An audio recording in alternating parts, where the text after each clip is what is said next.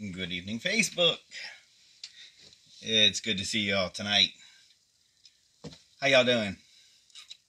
Today is June 25th. It is Thursday. Another glorious day in, in Michigan. Oh, y'all, if you've never been here, if you've never been to the Lake Michigan coastline, ah, you got to come. You got to visit. It was beautiful today 71, 73 degrees, somewhere in that neighborhood. Bright sunshine. Ah, just beautiful. Beautiful. I, thought, I hope you enjoyed your day. Oh, at least half as much as I enjoyed mine today. Hmm. Got to have breakfast with a good friend. Turned around, got to have lunch with the wardens of Grace and start planning reopening of that church. And, well, it's just been a beautiful day. Um, first of all, uh, let me introduce myself. My name is Mick Shriver, and uh, if this is your first time coming to this site, welcome. We're glad to have you with us. In this video, we go over uh, a devotion. Um, we check in with each other. Uh, we say a, a nightly office. We lit, read a little scripture. Um, and we just enjoy each other's company for a little while. We close the day in prayer, and uh, we just lift each other up. All right? and we check in with who's in the room. So, Dee, hi there. Good to see you. Um, you probably have your husband there next to you too. Hey, Dick, how you doing? Tonight, I am sharing with you all my favorite beer. I'm a Pennsylvania boy. I'm a transplant to Michigan. Um, I'm not a native Michigander. I'm a native, native Pennsylvanian. And this is Yuengling. Can't get it here yet. I'm still torqued off about that. But I've got people who love me very much, and when they go just south of us, you know, anybody who goes south goes through Ohio first, and well, Ohio you can get it, just can't get it here, not yet anyway. Mmm, nice and cold, way it should be. I don't see how Europe drinks warm beer. Any of y'all who've been over there and and you tell me about the Hofbrauhauses in Germany and stuff like that. I just don't see how you drink warm beer. Yeah. Luckily, I don't have to. I want to talk to you tonight a little bit about what makes us right with God. Okay? And that might be a, well, might seem obvious to some people, might be a tough call for others. Okay? Am I right with God because I, I do the dutiful thing and I go to church when I'm supposed to and I even volunteer? Am I right with God because, well, because I, I, I don't lie, I don't steal, I don't cheat. Um, well, I try those things anyway.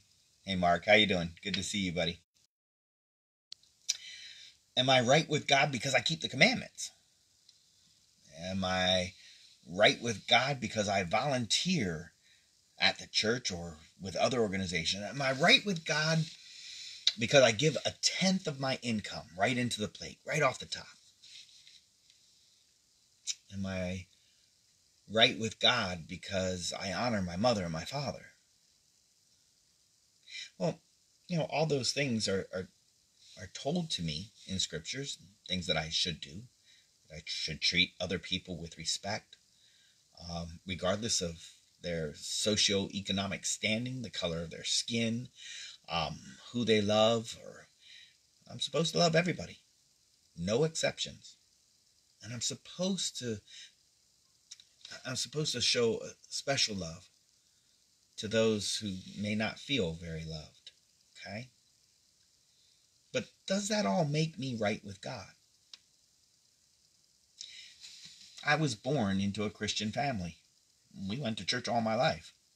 I don't know a time, well, there was a couple of years during in there when I was in the army and such that I did not attend. But by God's grace, I did find my way back into the church and well, am I am I a Christian or am I right with God because I was born into a Christian family? Know, there are lots of families that uh, you get into an older church and you get into a, a, a church that's been in a certain town for a long time, well, you're bound to have some families in there who uh, who can trace their lineage back years and years, maybe to the very founding of that church. And their families were families of of importance. Is that what makes them or me right with God? Is that what qualifies me as a Christ follower? Well, in short, the answer to all of that is no, quite frankly. No, it, don't get me wrong. It's it's good and proper and right to do those things, of course, but that's not what makes me right with God. See, that's that's the problem that a lot of people had during Christ's time on earth. They, their understanding of, well, if I just follow these rules, if I do what I'm supposed to do, if I follow the law, then I'm in. And I, being born a Jew at the time, I am a child of Abraham. I get the stamp on my forehead. I, I get to go past go. I uh, collect two hundred dollars, whatever. And, and Christ came to say, that's not it, guys. The law was just something that led you to understand your need for grace. Okay? We're not right with God by what family we were born into, by very dutifully following all the rules and laws. If we think that today, well, then we're pretty much just as lost as, well, the first century Jews were at the time of Christ. No, it's not by uh, the mark of my family or the good that I do. It's not by that. It's simply by faith. I believe that Christ died for me, and He is my way to salvation that act of him sacrificing himself. That's it. I belong to Christ. All the other stuff is maybe icing on the cake, the way I'm trying to live a good life, but what makes me right in the eyes of God is who I belong to, not where I came from, or even the things that I do.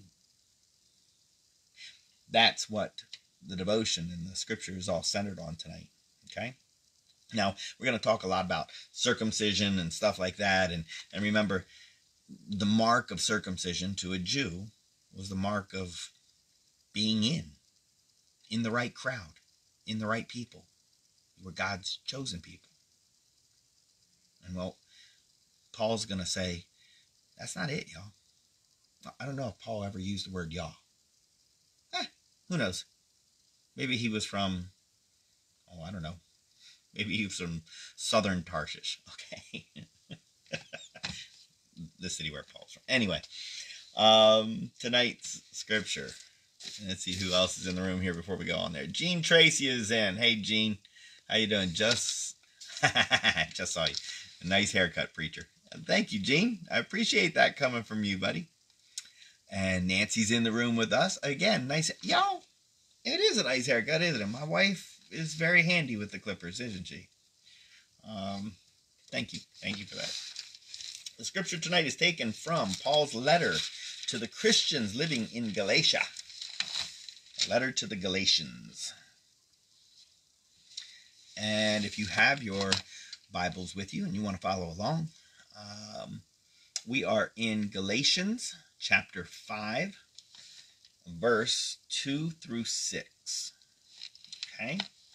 By the way, if you if you ever just want to say you, you you read a book of the Bible, there's only six chapters in the book of Galatians, or the letter.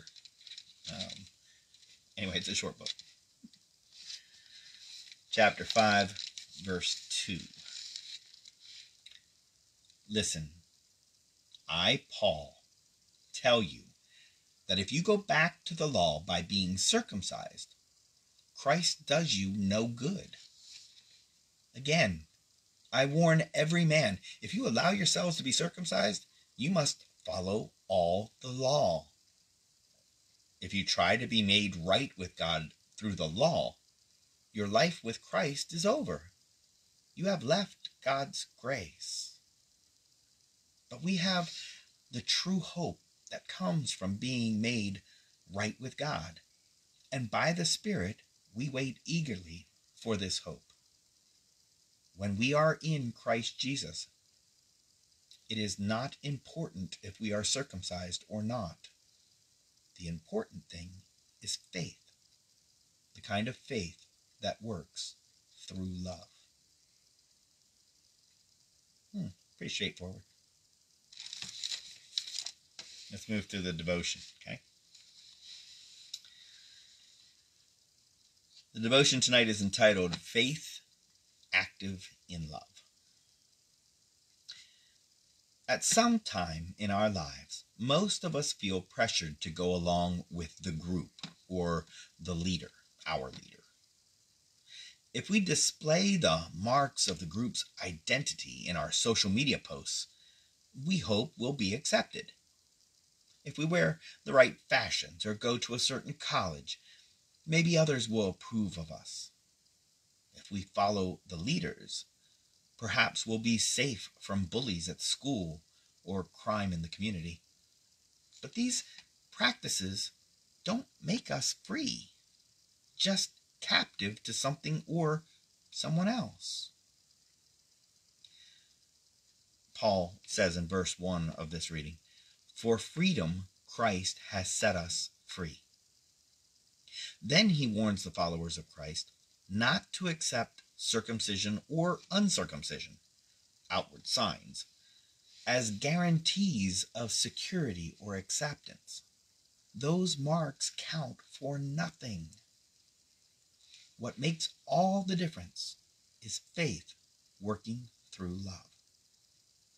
The gracious, self giving love of God in Christ Jesus is the ground of our confidence and the source of our freedom to love our neighbor as Jesus has commanded. Hmm. And the prayer for tonight, Holy Spirit, free us to set our hope on your love in Christ Jesus, our true Lord and Savior. Amen. And our prayer concern for tonight is for people being bullied. Boy, when I was a kid, there was there was never any any thought of such a thing as as an internet. You didn't have to deal with that. The only bullies we had to face was on a schoolyard. But have y'all ever seen how people are bullied online? Hmm. It's not good. It's not good. So we turn to our prayer list, our ongoing prayer list that we share. I do have some news for you who who turn, tune in every night and well Patsy has has been asking us to pray for um, for Alan Chick and I got word yesterday that uh, Alan did pass um, and we we join together in prayers for his family um, and for Patsy. Gene just wrote down here as any of you all are, are welcome to. Gene is asking prayers for Stan. Uh, I think I know who you're talking about there, Gene. We will add Stan to the prayer list, okay? Gene for Stan. Okay. For Barb's sister, recovering from surgery, her sister Joy. For Eleanor's grandson, Eric. Dee for Joy and her daughter Anne. We pray for a donor soon to come forward for Jim. TJ for Pat's continued healing. And Allison, you've asked us to pray for your mother, Marla. Vicky for your dad, Larry. And for um, for Leah, my friend Bruce's wife and for you too, Bruce. For Zeke's wife, Sue, continuing to heal from her from her broken hip. Sharon for Bob and Julie. Kelly for your sons, Adam and Chris and yes, Christopher. Priscilla for Jay and Nate, and for Nate's mom, Tanya. Amanda, for your grandpa, Charlie. And Jim, you've asked us to join you in prayers for Woody. We do. Gene, my buddy, we've been praying for you and your upcoming um, your upcoming surgery. We pray for a, a steady hand of the surgeon and uh, for the doctors and nurses to have good care of you and for a quick recovery.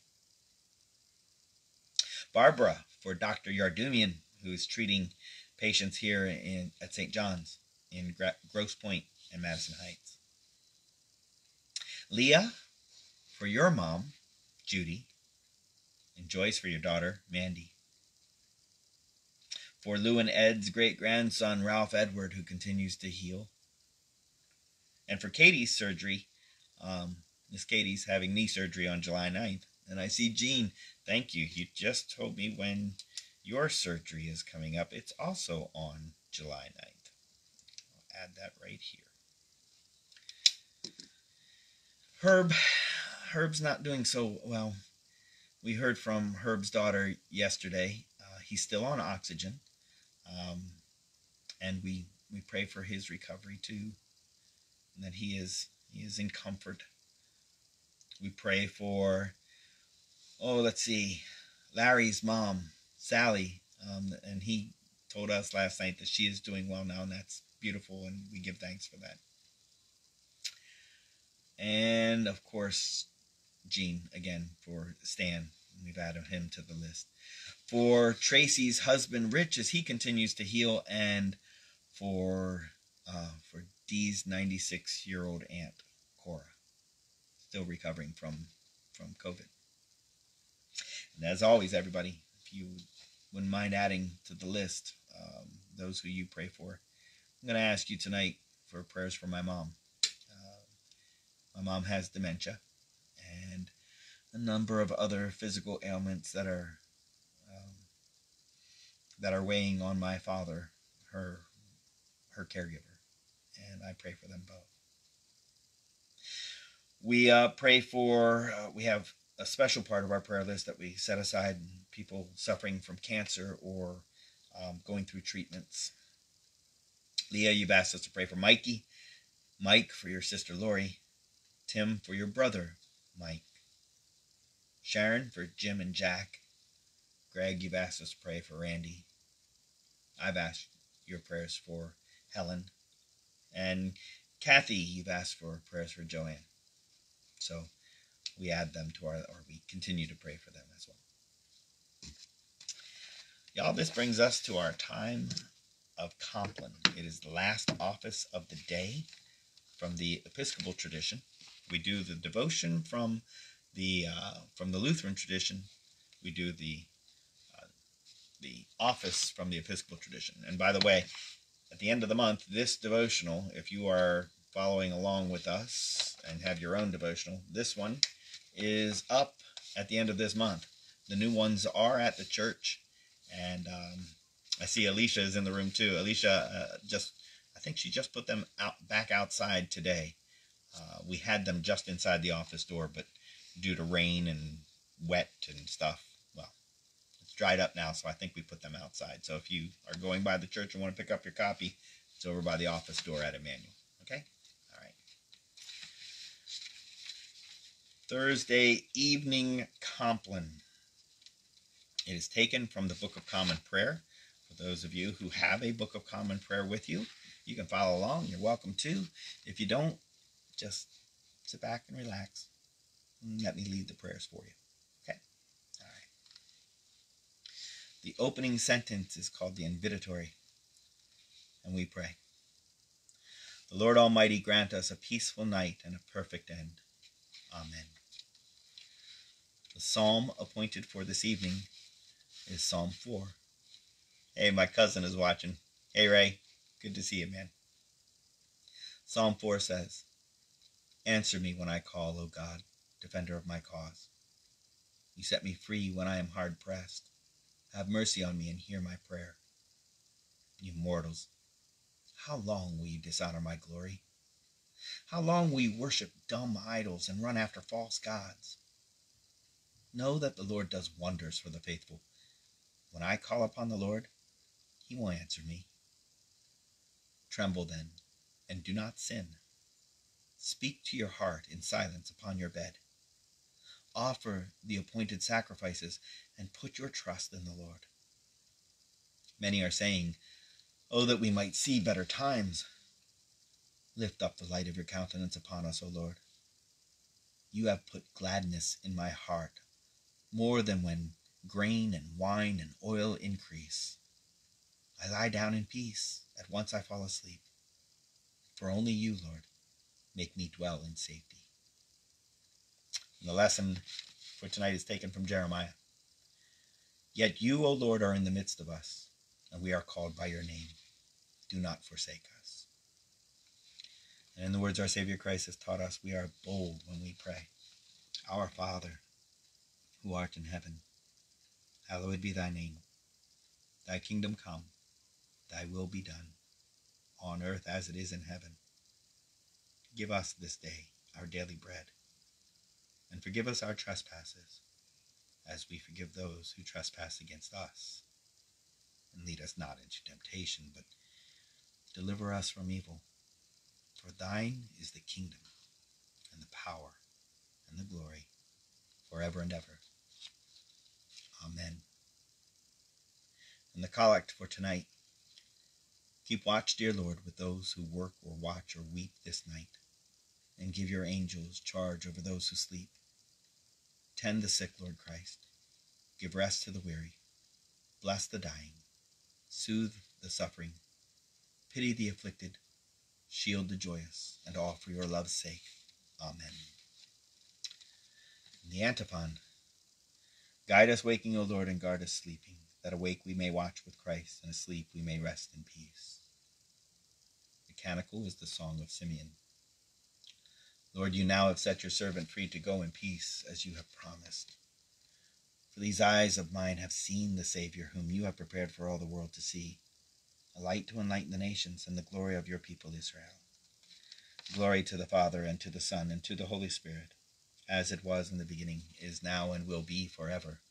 Amen. Guide us waking, O Lord, and guard us sleeping, that awake we may watch with Christ, and asleep we may rest in peace. And we have we have uh, people who join us first thing in the morning and use this as part of their morning devotion. So I am honored to be able to do a morning prayer for you guys. Okay? Holy Father, thank you for loving me for walking with me and caring about the smallest details of my life. Fill me with grace, Lord, that I may have the strength to face whatever is before me today. I know not what today will bring forth, but make me ready, Lord, for whatever it may be. Please give me your wisdom and fill me with your peace. May I show the same grace to others that you show to me. In Jesus' name I pray. Amen. And finally, the blessing for tonight. The Almighty and merciful Lord, Father, Son, and Holy Spirit, bless you and keep you this night and always. Amen and amen. Thank you, everybody. It's been, it's been great spending this time with you. Throat's a little dry. Hmm, I wonder if I have a, a remedy for that. hmm, there we go. I think that'll about do it. It's been great spending this time with you. I hope you have a wonderful day tomorrow. I hope you rest well tonight. Be safe. Be well. Love each other. Love God with all your heart. Good Lord willing, the creek don't rise. I'll see you back here tomorrow night. Good night, Facebook.